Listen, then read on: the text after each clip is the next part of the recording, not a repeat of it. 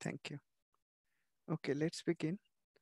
Welcome to my weekly live market meeting, 18 September 2019. I am Sagar Nandi. I am the designer and developer of Q Systems and Techniques. I used to work in IT. I retired about six, seven years ago. I work mostly in Singapore. Nowadays, I am living in Thailand. I primarily swing trade stocks mostly in the USA market, but sometimes in other global markets as well. I regularly share my stock analysis and market analysis in the traders forum, sagarnandi.com, my Twitter page, twitter.com sagarnandi, and also the YouTube channel tradingprofitably.com. All of these forums, channels, pages are open to the public.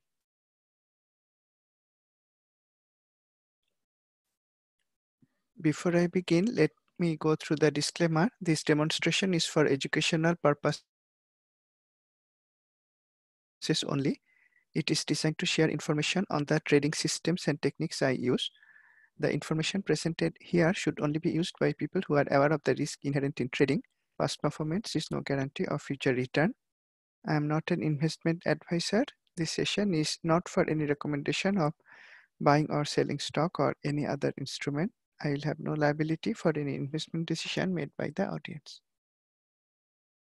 In this session, as usual, I will do a global as well as USA market review and then using the live systems, try to look for trading opportunities. One thing to note is that there is a major event today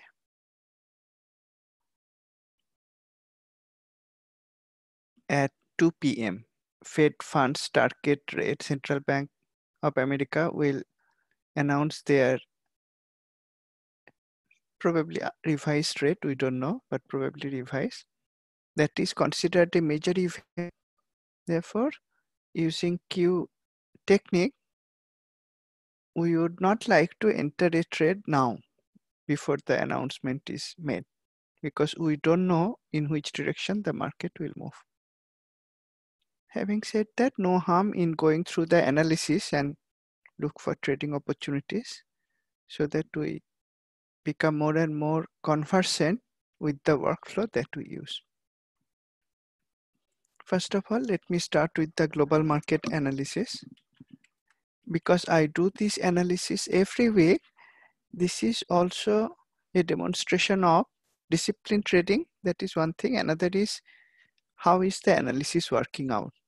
If you are attending the webinar or watching the video later in the YouTube channel, you will come to know that the analysis is working pretty well. Why does it work well? It works quite well because of the simplicity of the technique. For the global markets, I have downloaded the data, so I can use that. We start with the Australian Market Index, AXJO.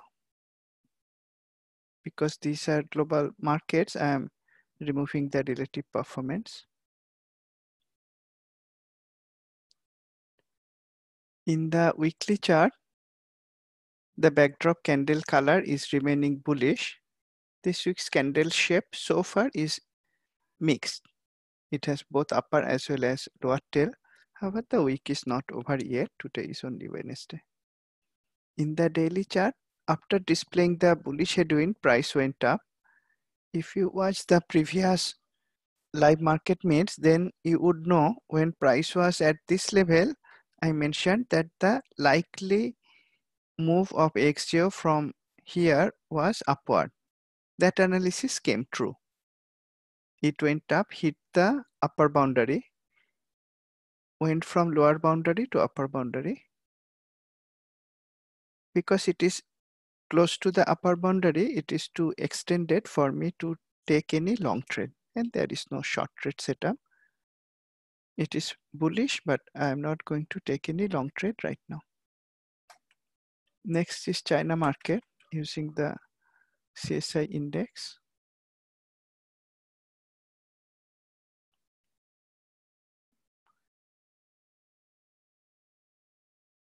In the weekly chart, it came close to the memory resistance and decline. The backdrop color is remaining bullish.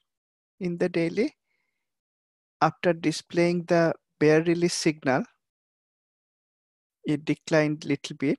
It is still close to the upper boundary level. The weekly backdrop is bullish, therefore we would like to take a bullish trade. However, it is too close to the upper boundary. Similar to AXJO in the Australia market. So we are not going to take any trade right now.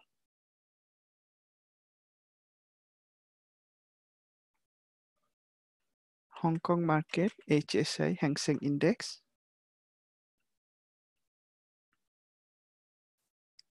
Here also the weekly backdrop is bullish, though the shape is bearish so far. Similar to the Chinese index, CSI 300, after displaying the bear release signal, it pulled back somewhat. The weekly backdrop is bullish. If the daily goes up from here, we could consider taking a long trade go with flow trade following long setup. However, there are several memory resistances that will prevent us from attempting any long trade in HSI right now. There is no short setup as well. We are seeing that several of the markets don't have a trade setup. When that happens, individual stocks may also not give low risk trading opportunities.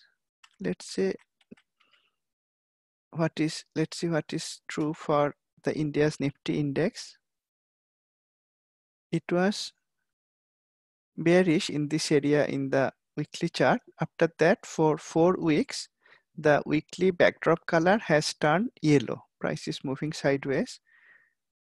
In the last live market meet, I mentioned that it was inside a triangle pattern bound by this resistance memory and there was a support memory here which got broken yesterday. Therefore, we are not going to take any long trade for sure. If there is a low risk shorting opportunity, you may look into that. However, we'll take that short trade only if we have one of the trade setups. That is the weekly and daily charts are meeting the unambiguous checklists. Right now, there is no such trade setup because the weekly is neutral. If the weekly was magenta, then this breakdown yesterday would have given us a go with flow trend following short setup, but that didn't happen because the weekly was not magenta. Now there is no trade setup. If price goes up little bit again and comes down, and the weekly turns magenta at the same time, that will give a optimal shorting point. We may see if that opportunity comes. Long position holders may be cautious, especially if this weekly memory is broken. That has not broken yet. The daily memory that was at this price level is broken. The weekly is still holding. If this is broken, then long position holders may be extra careful. None of the indices so far has any trade setup. Let's look at the FTSE market, UK market FTSE index, FTSE.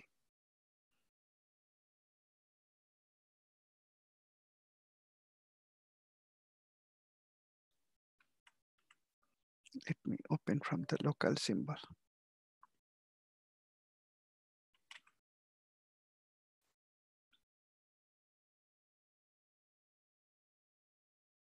Here also the weekly backdrop color is bullish, though the shape is bearish. In the daily, it is still going up with higher low, higher high. It is in an uptrend. If the daily gives a cyan color candle, that will be the optimal trading point. The weekly is already bullish. If I have a cyan color candle in the daily, that will give a low risk go with flow trend following long setup. Right now, there is no trade setup. Let's look at the S&P 500 and other US markets using ETFs.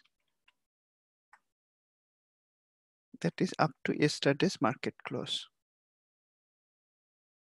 The weekly is bullish near watermark resistance level where bearish headwind came from where price dropped. Daily is also near watermark resistance.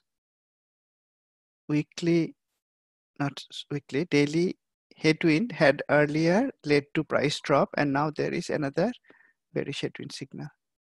In the weekend market roundup, I mentioned that S&P 500 was bullish. However, it was too close to the watermark resistance. So I was not going to take any long trade. I am maintaining the same view. It is too close to the upper boundary and watermark resistance to take any long trade right now.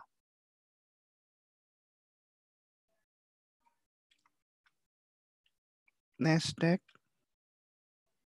ETF, QQQ. Similar picture. Weekly is remaining bullish, very close to the previous watermark resistance. Daily also near watermark resistance, where bearish headwind had come earlier from where price has had dropped. So I'm not going to look for any short trade. Sorry, I'm not going to look for any long trade right now. Even if the daily goes up today, gives a cyan color candle, that will be too close to the watermark resistance and upper boundary level. That will make QQQ more bullish, but it will not give a low risk entry opportunity. You will see the same is true for DIA also. And I don't want to connect to the live data. During webinar, it's easier to work with the offline data.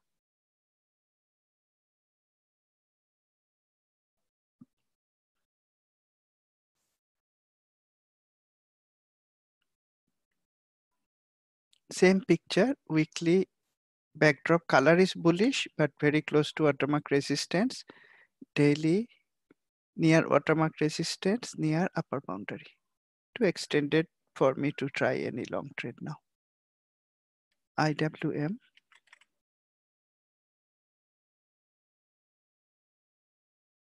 Russell 2000 ETF. In the weekly market roundup, I mentioned that it was closing right at the memory resistance both in daily and weekly. Looking at that, I mentioned I was certainly not going to take any long trade in spite of it being the best performer in that week. It had the most bullish shape and color candle and it had gone up, the only ETF that had gone up with heavy weekly activity. But because it closed right at the memory resistance in weekly and daily, instead of taking a long trade there, I would be happier if price came down from here and gave me a shorting opportunity. That would be a low risk shorting opportunity. That hasn't come, but I am not still ready to take any long trade in IWM. We saw none of the market indices starting from Australia to China to Hong Kong, India, UK, America. We don't have any trade setup in any of the broad indices. When that happens, usually it is not easy to find trade setup in the individual stocks also. Not easy, but it is possible. And let's try to find them out.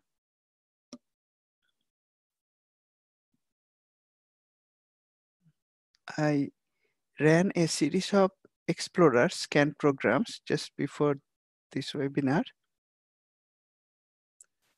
I ran one looking for buy candidates in stocks that went up yesterday.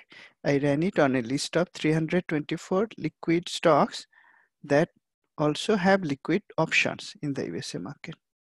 So I'm going to get the data put it in trade finder and I'm going to get the data of another scan I ran that is short if down stocks that went down yesterday from that same list of 324 liquid stocks and I'm going to put it in the second tab. now it is easy to see how the possible bullish candidates and possible bearish candidates stacked up. The red column here is the cumulative number of bearish signals in the second tab where we pasted the bearish signal result. We can see 74 stocks gave possible bearish signal yesterday. What about the bullish? 57. If we look for last two days, then we have 72 bullish signals. Last two days, 94 bearish signals. Over five days, 128 bearish, 124 bullish. Over last two weeks, 142 bullish, 150 bearish. Pretty mixed picture. If the market is significantly bullish, then we would see finder one data, that is the bullish scan result. These numbers would be much higher. And if the market was significantly bearish, then we would see these numbers to be much bigger. However, we can see they are more or less balanced between finder one and finder two. In finder one, I pasted the result from buy if up and in finder two, I pasted the result from short if down. The results are mixed. That also shows that market is balanced. If I look at the sector performance, this is as of now, that means as of yesterday's market close, we saw, we can see yesterday two sectors were up, nine were down. Over five days, nine were up, two were down. This is also giving sideways market. It's not steadily going up or going down.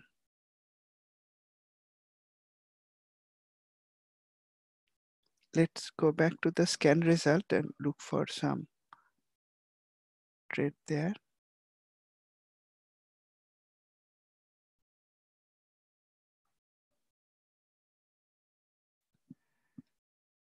We saw that market is at resistance level. However, it is bullish. It is not easy to look for a trade setup.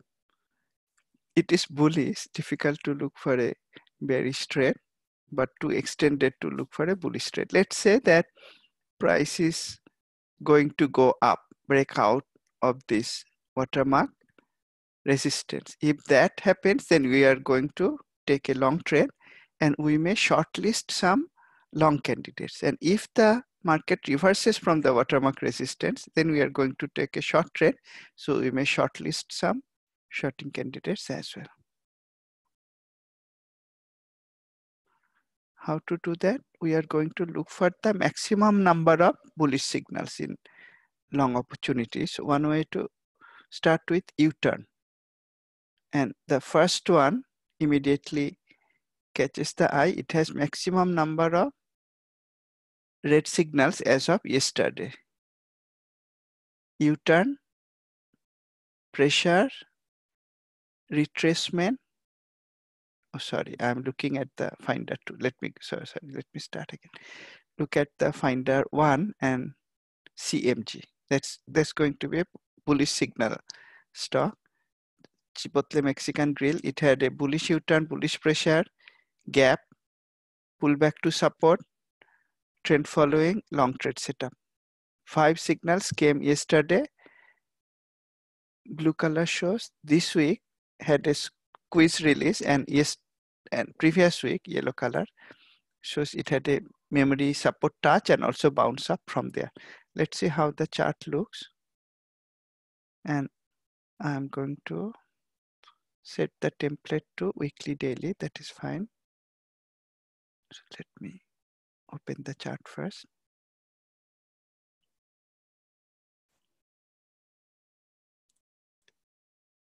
Here, one few days ago, previous week, it touched the, from the touched the memory support, bounced up from there.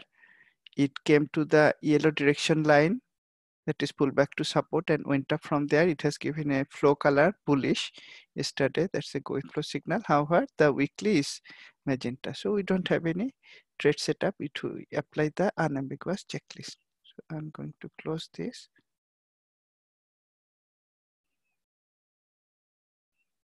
And delete CMG.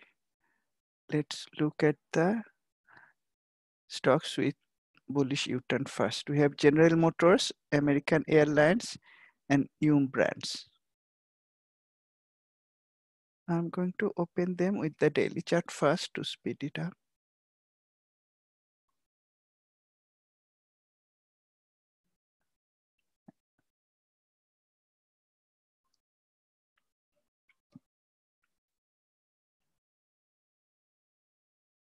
Now I'm using real-time data when I am running the webinar on Metastock. Sometimes it takes a while to load. It has loaded this stock, America Airlines. No bullish signal here. I can see that the bullish headwind here and here worked very well. The bearish headwind here worked very well. Bullish headwind worked very well. Bullish headwind worked very well. That is why we take the bullish and bearish headwinds very seriously. We may use them to take a reversal trade. At minimum, if we had a trade in the opposite direction, we protect the position with trailing stop. They work very, very well and the trade setup also works very well the headwind trade setup right now there is no trade setup general motors inside a triangle pattern no trade setup. And this was Yum brands. This is looking interesting. There is no trade setup right now. Looking at the daily let me open it up with weekly daily the at a glance template. This is looking interesting. It is not giving me any trade setup if I apply the standard trade setup checklist.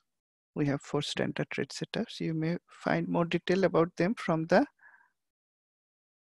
books. Books are available from the sagarnandi.com book menu. Why it is interesting still because it is bouncing up from the memory support in daily and weekly both and it has displayed a bull release signal with heavy pressure and U-turn as well. Volume was very high yesterday and previously during the down move volume was very high as well. One might consider taking an exhaustion based reversal trade yesterday as price was trying to go up, one might take the trade using early range breakout technique. Let me switch to the fine tune real-time chart to see if such a setup was possible yesterday. Such a setup would be possible if the early range was narrow enough.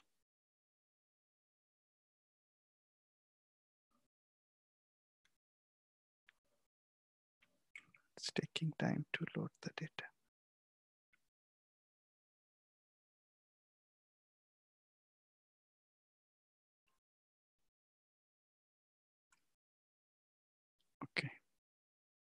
Yesterday, market opened at this point, then early range high and low lines formed.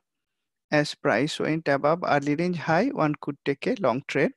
For that day, yesterday, the stop would be just below early range low and then it closed higher. It was not intended to be a day trade. It was a swing trade, but precisely entered using the early range breakout technique. For the entry day, the stop would be just opposite end of the early range. And now that it closed higher, now the stop will be shifted using the daily chart. That is, it will be just below the recent low in the daily chart you may put it just below the memory support line. Let me close this. Back to Trade Finder, delete these stocks. Now let me look at breakouts. one, two, three, four, five. Five stocks broke out yesterday. Let me look at them using the daily chart.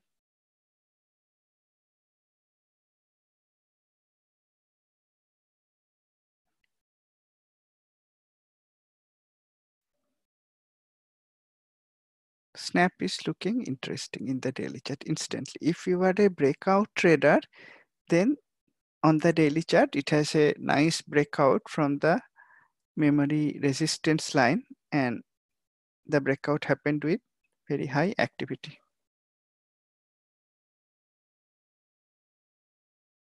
Later on, we'll look at it using weekly daily. Let me look at the other stocks first. I will keep Snap in mind. This is also looking nice. Netflix. The, the breakout from memory resistance for bullish trade or memory support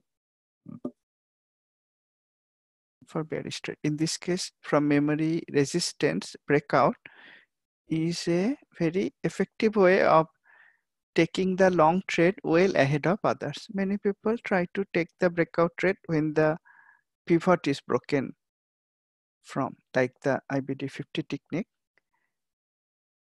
However, if you take the trade when the memory resistance is broken, you have much better feel and the stop loss is also nearer. I will look at Netflix using weekly daily later. WMB, it is inside a triangle pattern. Not going to take any trade now. Note, however, how beautifully the bullish headwinds got the very bottom. You could take very profitable trades using the bullish headwind signal. In this case also, I can see this bullish headwind worked very well. This bearish headwind worked very well. This bullish headwind also worked pretty well. Went up for long enough to give a profitable swing trade. All the bullish and bearish headwinds in this chart also gave very profitable trades. They have an uncanny ability to catch the tops and bottoms. Right now it is inside a triangle, so I'm not going to look for a trade setup here. HYG, let me try to refresh the data. HYG. It is too close to the upper boundary, so I'm not going to look for a trade. CX. This also looks promising because it was in a downtrend for a long time. Now it has come to the upper boundary. However, I mentioned that when a stock is reversing from downtrend to uptrend, when the first go with flow trade setup comes, it is expected to at or even higher than the upper boundary level. So if today it goes up, it will nicely break out of the memory resistance. It will give a cyan color candle, hopefully. That will be the first go with flow trend following long trade setup. And you could put stop just below this point. We look at this also using weekly daily. CX, back to snap. Okay, let me start with CX and look at it using weekly daily.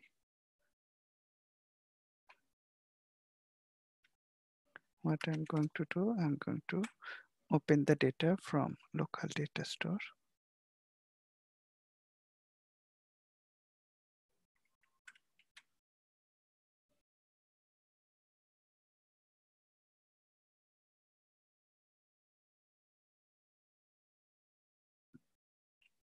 It's looking good in daily. In weekly, there is a memory resistance.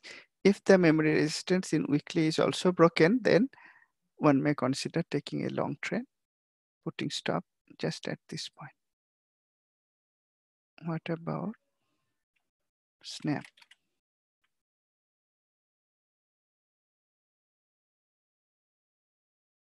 This is looking even better because the weekly is bullish daily is also bullish, broke out. It gave a possible go with flow, not go with flow strictly speaking. Why I'm not calling it go with flow setup because it is not in an uptrend, still in a downtrend, but it broke out of memory resistance. It can be taken as a breakout trend. However, I am always extra careful when my I put my money at risk. There is another memory resistance nearby. Looking at that, I'm not going to take this trade. CX, if I go back to CX, if this memory resistance is broken, the next memory resistance is far away. We will have much bigger potential profit than the potential risk. So CX is one I am happier to take if it breaks above the weekly daily memory both. Then there was Netflix.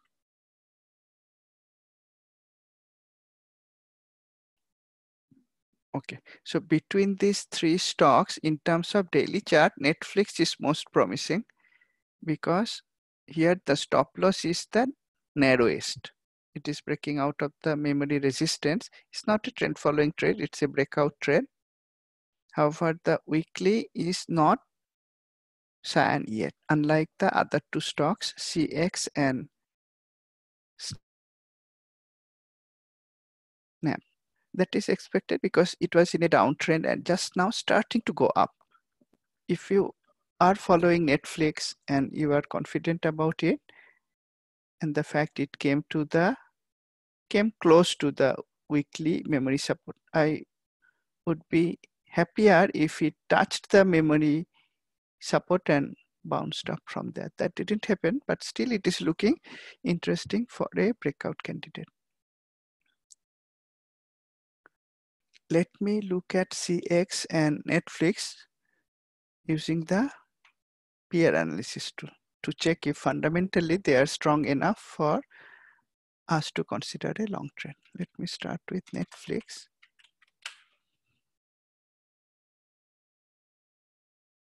Using Netflix as a root stock, comparing it with its industry peers, no data is stored in my computer connecting with Refinitiv Zenith to get the data, collect the PRs, and then finally calculate the statistics. Server side error, so it's an error from Refinitiv, just pause and play again. It belongs to movies and entertainment industry. Let me look at the industry first. Entertainment, movies and this industry is looking good it was weaker earlier, sand score. Now it is becoming, sorry, what am I saying? It was weaker earlier, magenta score. Now it is becoming stronger. Score is also improving. I just look at the color. So we may consider taking a long trade and you saw Netflix was down earlier.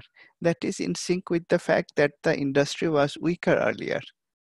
They are in sync. So the industry is telling we are okay to take a long trade looking at the fundamental scorecard it's not undervalued, but that is fine if we have solid earnings growth. I see the latest quarter earnings growth is negative. That is what probably led to a drop in the stock. However, over yearly period, it has very robust earnings growth over three year, two year, as well as one year compound aggregate earnings growth, very robust. And we have robust revenue growth both in the quarterly as well as the yearly periods. It has a short squeeze potential as well. Steadily going up over 10 day, 5 days, today, one day periods. So you may consider taking a breakout long trade in Netflix, very low risk trade in a stock has significant revenue growth, earnings growth over the yearly periods at least, and the industry is also improving. So Netflix is one such stock. Let me look at the other stock, CX. Was it CX.O? Stock not found. Let me check the stock.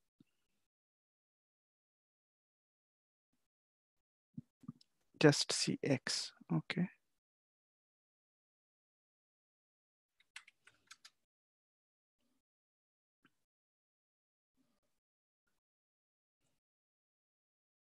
Cemex belongs to construction materials while it is retrieving peer data. Let's look at the industry. Industry was stronger earlier, then weekend, yesterday improved. We may consider taking a long trade because of the improvement from five day to two day to one day. Because we are talking about swing trading, we are not going to be affected by very, very far back score. What happened five months ago. We want to know what happened in the recent few days for swing trading.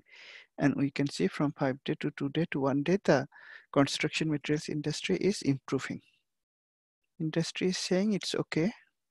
Probably not the best industry, but it is still okay considering that the score is improving. What about the fundamentals? Here, the fundamentals are looking much better.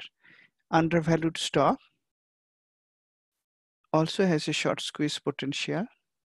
Undervalued stock, I don't expect very high earnings growth. So it's okay to find that earnings growth is not positive in the last year or quarterly period. Revenue is also not good. That's fine.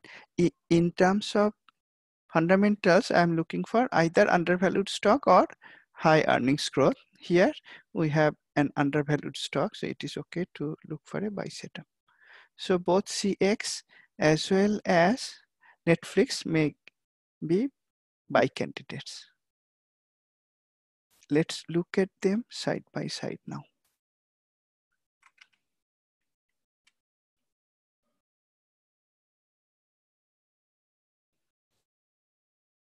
sometimes if we have two candidates, it helps to look at them side by side. First, let us look at them using weekly chart.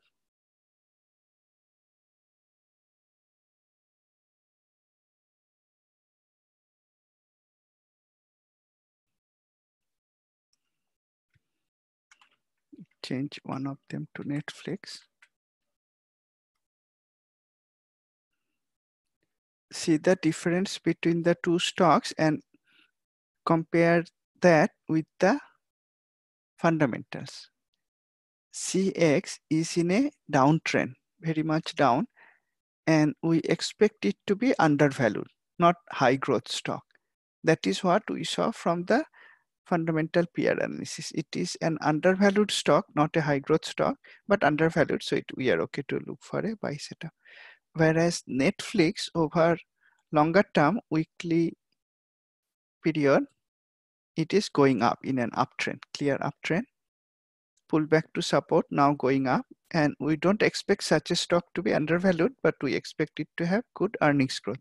That is true for Netflix. It had some drop recently. We saw the latest quarterly result, negative earnings growth that might have led to some drop this may be a good point to consider buying the stock again. Let's look at the two stocks using daily charts. Entry daily.